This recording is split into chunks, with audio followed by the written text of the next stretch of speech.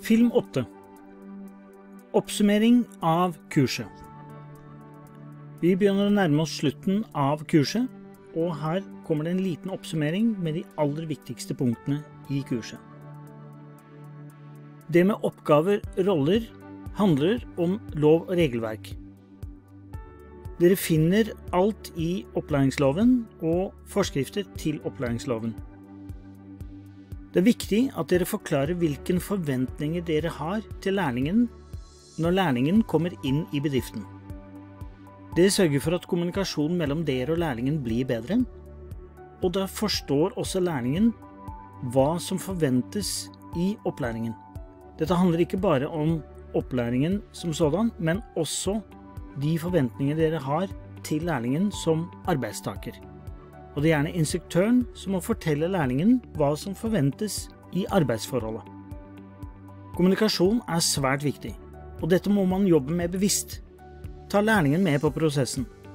Vil si, snakk med lærlingen om hvordan kommunikasjonen mellom dere skal foregå, slik at lærlingen forstår hva som forventes i kommunikasjonen. Læringsstrategier er noe som dere bør snakke med lærlingen om. Hvordan lære best?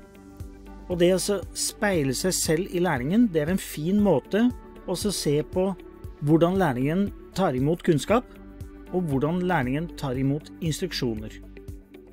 Vurdering er viktig. Bruk litt tid på vurdering, for det lønner seg.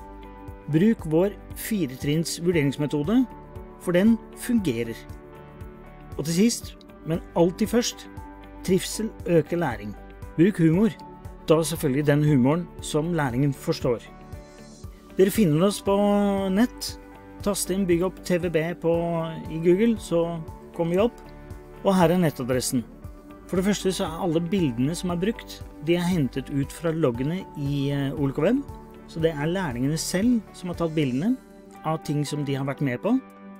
Videre så er det lov og regelverk som ligger til grunn for uh, den biten. Så er det forskning rundt kommunikasjon, pedagogikk og didaktikk, altså måten å lære på, som ligger til grunn for disse filmene. Jeg er kursholder og opplæringskonsulent i Bygg opp TVB, og har en bachelor i yrkesfagpedagogikk, og i skrivende stund så holder jeg på med en master i spesialpedagogikk. Takk for at du ser gjennom filmene, og ser dem gjerne om igjen. Vi håper at dette kan hjelpe dere i de situasjonene hvor det ikke så går så bra, men også i de situasjonene hvor det går bra. Her er alle oss i Bygg opp TVB. Dere kan ringe oss når som helst, og hvis en av oss ikke svarer, så prøv den neste. Særlig hvis det kniper. Det er viktig at vi får beskjed tidlig om noe er galt med en av våre lærlinger. Så det er bare å ta kontakt.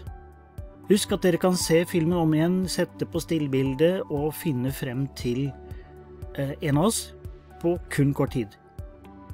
Slutt film 8, og slutt på instruktørkurset. Takk for at du tok deg tid til å se dette her, og vi håper det er til hjelp.